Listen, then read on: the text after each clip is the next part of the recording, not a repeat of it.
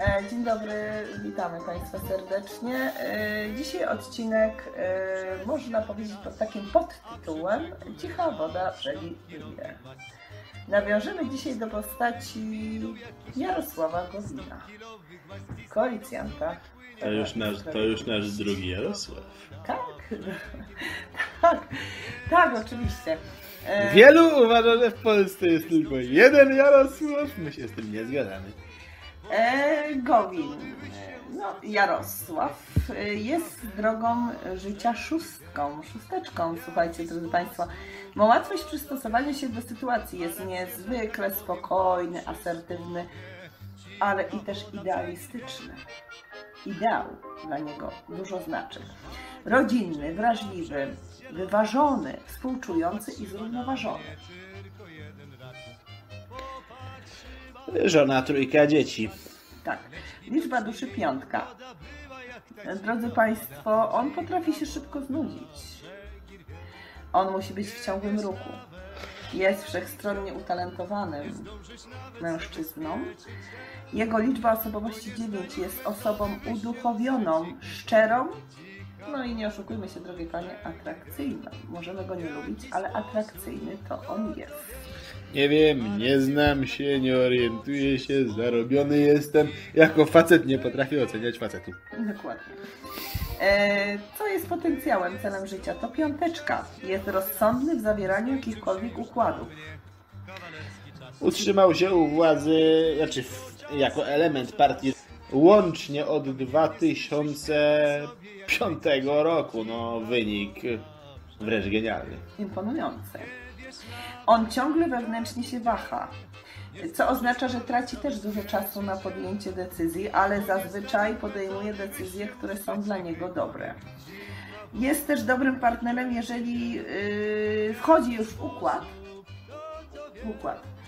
Jest dobrym partnerem, tylko yy, nie daj Boże, żeby ktoś go zawiódł. Wtedy Jarosław Gowin potrafi pokazać pazurki. No cóż, miejmy nadzieję, biorąc pod uwagę, nadmieniam, że nagrywamy to w poniedziałek 21 września. Wszyscy wiemy, co się w tej chwili dzieje w kraju. Miejmy nadzieję, że on jeszcze te pazurki pokaże. Raz już próbował, co skończyło się dymisją. e, Wtedy mu te pazurki troszkę przytępiono, ale przynajmniej tu plus zachował się honorowo. Tak, drodzy Państwo, zachował się honorowo, mm, odszedł z ministerstwa. Natomiast jeżeli chodzi o karmę, karmę pracy, mm, praca jest dla niego pasją. Takim niesieniem pomocy innym. Oczywiście on unika ciężkiej jakiejś tam pracy.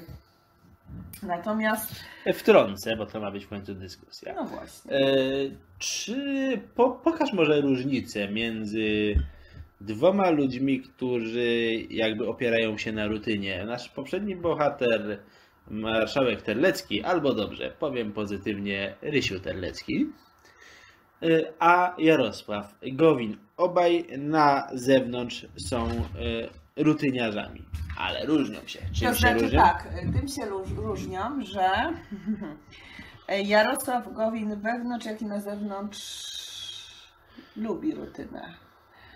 Natomiast Ryszard Terlecki na zewnątrz pokazuje, że lubi rutynę. Tak naprawdę wewnątrz jest hipisem. Nie lubi rutyny. Wewnątrz jest Rysiem. Tak. Więc mamy tutaj, proszę Państwa, przykład porównania ludzi. Jeden, jednemu rutyna nie pasuje, a naszemu dzisiejszemu bohaterowi rutyna pasuje. On lubi y, funkcjonować jakby w utartych kolejnach. Tak, y, w schematach. Utrzymywać schematy. Jest też karma wolności, czternastka, ale on ma wolność wewnątrz i na zewnątrz, czyli w sercu i na zewnątrz, tak? Jest opanowany z umiejętnością e, dążenia do wolności i przekonuje ludzi obok siebie, że on dąży do wolności. I to jest prawda. Bez rewolucji ta wolność. E, co czyli mo- bez rewolucji. Co można, co można powiedzieć, co można powiedzieć pozytywnego e, podczas tak zwanego korona, korona kryzysu, czyli całej tej korona paranoi, powiedzmy wprost, korona paranoi, która rozpętała się w lutym i marcu. W tamtym okresie to Jarosław Gowin zaproponował ażeby przebadać wszystkich i wypuścić jakby z czegoś w rodzaju aresztu domowego, bo okres e, marca, kwietnia i maja, czyli zamknięcia gospodarki, to był Tak. krajowy prawda. areszt domowy. On chciał przebadać wszystkich i zdrowych wypuścić. To Tak. ówczesny minister Szumowski stwierdził, że jest to niemożliwe, ponieważ e, e, no, testy są wadliwe i byłoby zbyt wiele fałszywych wyników. To oczywiście może nam pokazać, jaka jest jakość tych tak zwanych testów, ale trzeba zapisać na plus Jarosławowi Gowinowi, że on chciał nas uwolnić. Dokładnie, dążyć do wolności bez rewolucji. Czasami jednak on jest taki trochę chaotyczny w działaniu, co powoduje, ta jego powolność powoduje tak jakby nieporozumienia. Czyli chaotyzm. Y, No drodzy Państwo, karta kochankowie. Mówimy o karcie Tarota. Tak. Niewierność w układach, które przestają mu pasować. Mówimy tu o człowieku, przepraszam, dowód na szybko, który był członkiem Platformy, gdy stracił stanowisko ministra sprawiedliwości i przestał się dogadywać z władzami Platformy, odszedł, zerwał układ, który przestał mu pasować i założył własną partię. Y, Tak jakby trójkąt w pracy trzech koalicjantów. A tu można zauważyć dzisiejsze czasy, Tak. czyli jeszcze w dniu, w którym to nagrywamy, e, trójkąt złożony z jego i dwóch koalicjantów. Nie wiadomo, czy będzie to aktualna koalicja w dniu premiery. Tylko, że wyszło mi zarówno z karty y, kochankowie, jak i z odczytu ze zdjęcia, że on ma dylemat. y, U niego może nastąpić przełom, może, a nie musi, bo on jest niezdecydowany.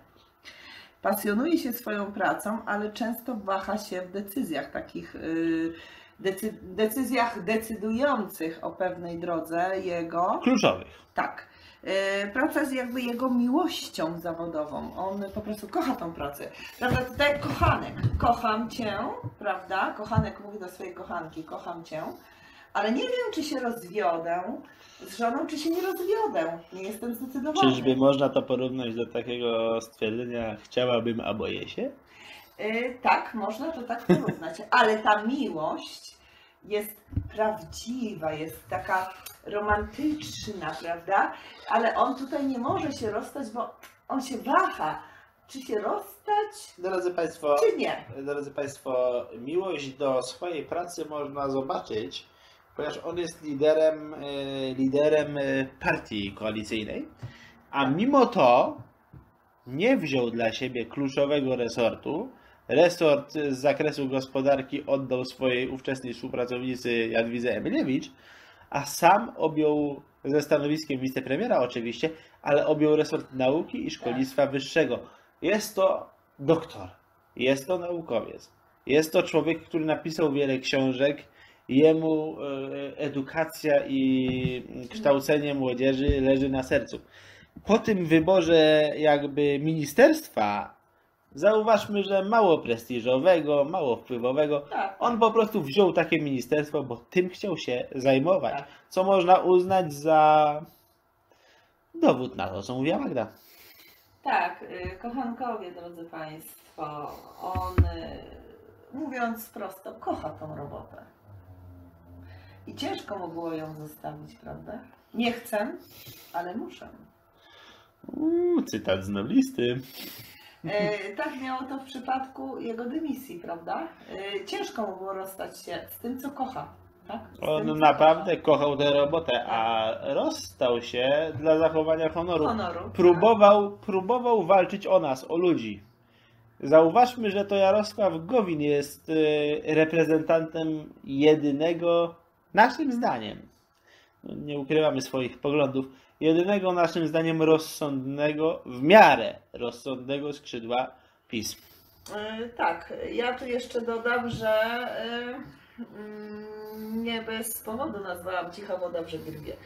Ponieważ jest to osoba stonowana, rodzinna, stonowana. Dla niego najważniejsza jest rodzina, pasja w pracy. To, że on się waha i powoli podejmuje decyzję, to oznacza, że on chce podjąć dobrą decyzję. Nic y, nagle, bo co nagle to Po diable, tak? Jak to mówi pewna, jak to mówi cytat e, z ksiąg pewnej popularnej u nas religii, po owocach ich poznacie. Zwróćcie uwagę na to, że Jarosław Gowin w partiach rządzących utrzymuje się nieprzerwanie od 15 lat. Nie było nikogo historii e, Polski po upadku e, socjalizmu, kto utrzymałby się na, u władzy przez tak długi okres. Jest rekordzistą, a to oznacza, że jego strategia jest skuteczna. No właśnie, to jest ta droga życia szóstka. Ma łatwość do przystosowania się, przystosowania się do sytuacji. Był tak? w Platformie, był ministrem z ramienia Platformy, potem przeszedł do PiSu, został wicepremierem z ramienia PiSu. Teraz usiłuje jakby budować swoją pozycję. W czasie koronakryzysu usiłował bronić ludzi. Ma jedną wadę. Tak, moim zdaniem ma jedną wadę. Moja nieżyjąca matka określała takich ludzi mianem lelum polelum. Tak, zgadzam się. Zgadzam się z panią Anią e, świętej pamięci. Tak. To teraz może mm, poprosimy ciebie, Piotr, o e, analizę i zobaczymy, jak to wychodzi e, w takiej typowej analizie ekonomiczno-politycznej. Historia i analiza ekonomiczna Jarosława Gowina. Więc tak. Jest to człowiek, który ma dość ciekawy życiorys. Urodził się w Krakowie. Y, Później y, wylądował w Jaśle Pobliskim.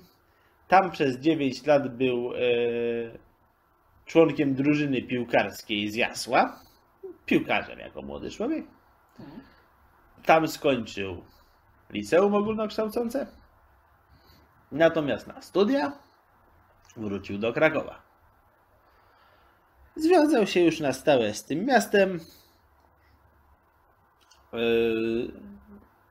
Zrobił w pewnym sensie karierę, ponieważ yy, był pracownikiem yy, miesięcznika Znak. A w późniejszym okresie również jego dyrektorem. Zaczął jako pracownik danego, danego miesięcznika, później został jego zwierzchnikiem. Pracę w tym miesięczniku zakończył w roku 2005, gdy rozpoczął karierę polityczną. Od 95 zdaje się roku był już e, naczelnym czy dyrektorem tego pisma. Jest autorem wielu książek.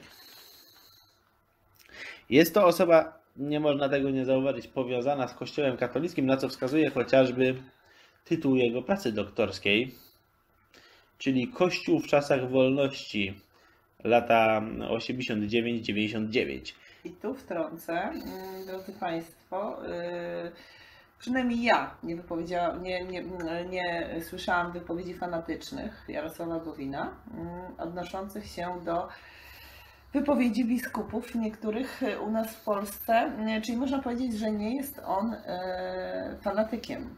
E, cóż, porównując jego, mimo że jest to człowiek e, jakby związany z Kościołem i z filozofią Kościoła, Tak, oczywiście. porównując jego do jednego z naszych przyszłych bohaterów w postaci negatywnej w 100% biskupa Jędraszewskiego, można wysnuć wniosek, że Jarosław Gowin jest dowodem, że wśród katolików trafiają się tak zwani porządni ludzie. Ludzie, którzy Tak. nie narzucają swoich poglądów, którzy Idą wierzą, wierzą, tak, wierzą, ale wyznają starą zasadę żyj i daj pozwól żyć. Tak. E, no tak, to świadczy o to, że on ma idealizm, ideologię, tylko że on tą ideologią, nie, to znaczy tylko, że on tej ideologii nie narzuca innym, drodzy Państwo. Przynajmniej jeżeli ktoś z Państwa, ktoś z Państwa słyszał taką wypowiedź, to też prosimy w komentarzach o przytoczenie źródła tej wypowiedzi. Natomiast ja, e, nie wiem jak Ty Piotr, nie słyszałam. Nic takiego Tak. nie znalazłem. E, Jego, tylko zauważcie, że on w kościele kontaktował się raczej z filozofami kościelnymi niż z e, hierarchami. A to jest różnica. To jest różnica. Między innymi był, znał księdza Tischnera i był pomysłodawcą tzw. dni tischnerowskich.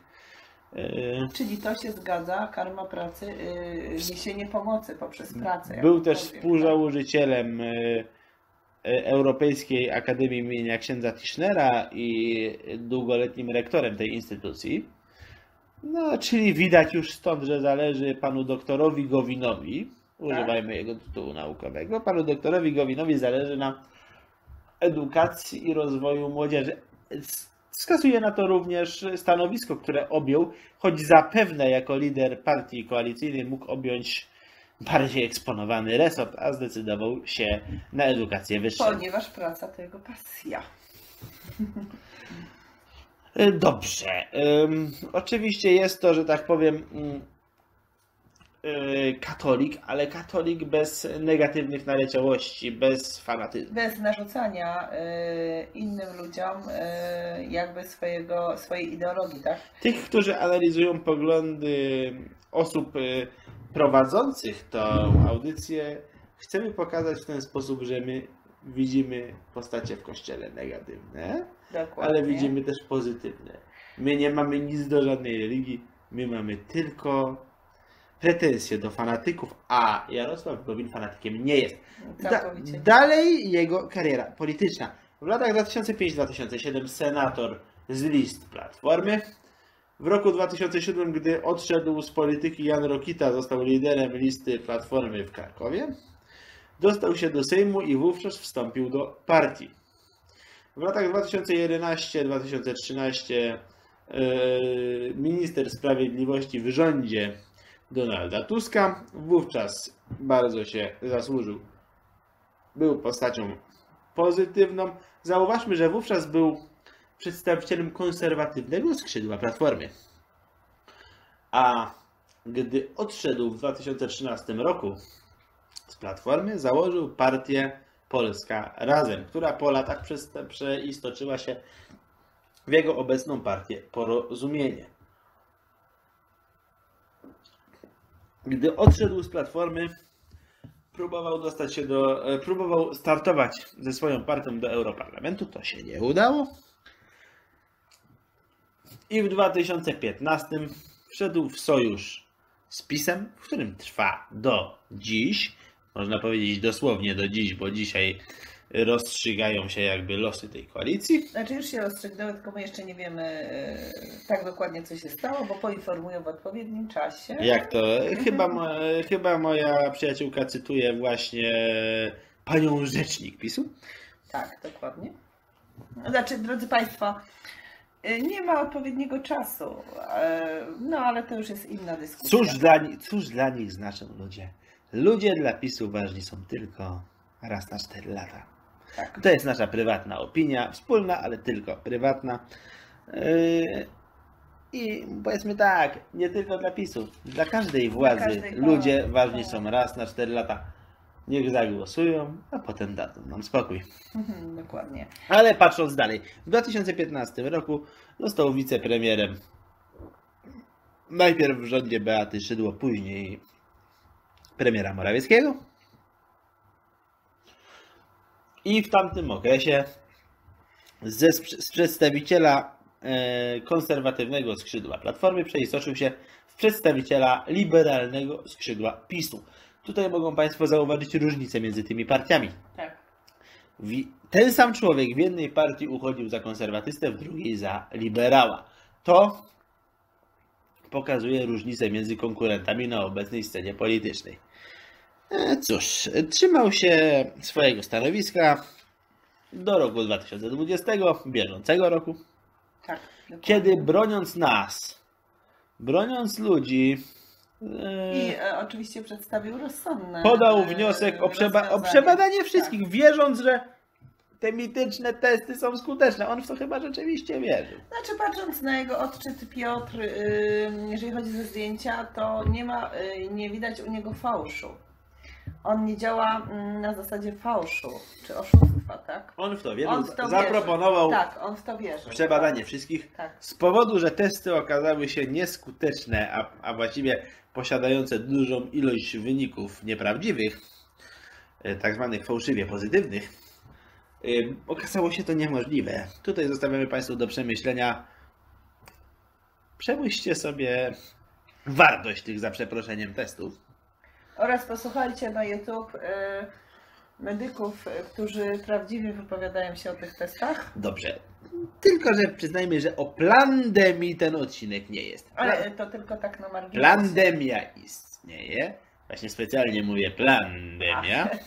No tak. Tutaj, prawda, wzoruje się na swojej wspólniczce, która, Ach tak, w którymś odcinku nazwałam to plan. która już tego imieniu. słowa użyła i było to po prostu nazwanie rzeczy po imieniu, więc ja to powtarzam. Ale i też y, Piotr, y, jeżeli chodzi o wybory, y, miał rozsądne rozwiązanie, być może nie pasujące nam, słuchajcie. Chciał nas uwolnić z aresztu domowego. Tak, tak, Z dokładnie. ciężkim sercem e, zaczął e, jakby na uczelniach tą paranoję, bo z jego rozkazu uczelnie zostały, jeszcze z jego rozkazu uczelnie Tak, zostały zamknięte.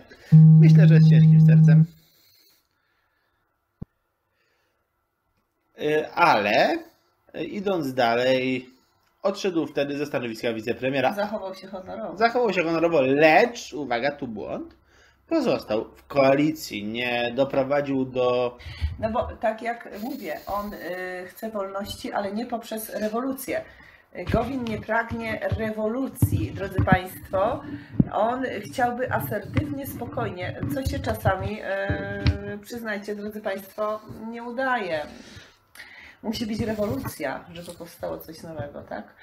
Gowin hołduje raczej bardziej pokojowym Cóż, czasem, opła... negocjacjom.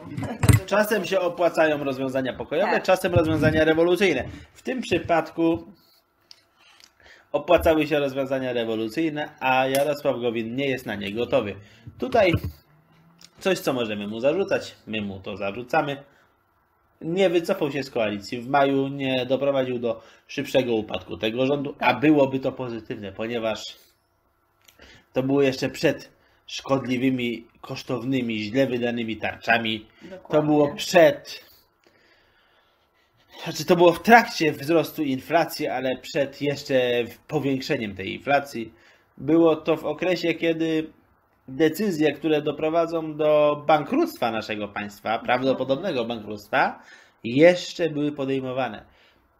Gdyby wtedy Jarosław Gowin opuścił koalicję i doprowadził do upadku, powiem wprost. Moim zdaniem, myślę, że Magda się ze mną zgodzi, najbardziej szkodliwego rządu w Polsce od 30 lat. Gdyby doprowadził wtedy do tego, do upadku tego rządu, stałby się bohaterem. Powiedzmy, tak, zgadzam się, miałam nadzieję, że y, zachowa się jako rewolucjonista, mimo to, że nie jest rewolucjonistą, chociaż raz zachowa się jak rewolucjonista. Niestety, Tak, tak. Moja, przyjaciół, Niestety- moja przyjaciółka Wodnik. uran, uran, wodnik to uran, y, rewolucja, coś musi Moja, przy, runąć. moja, żeby moja powstało. przyjaciółka Wodnik liczyła na rewolucję.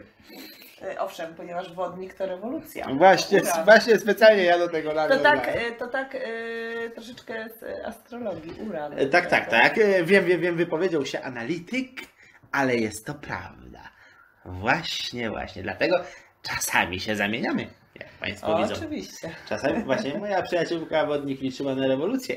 Wbrew pozorom ja, analityk, też na nią liczyłem. Tu zawiedliśmy się na Jarosławie Gowinie, E, tak, e, to tak, przyznaję rację. ale nadal pozostawiamy mu szansę. Jest to jakby jedyny głos rozsądku w Zjednoczonej Prawicy.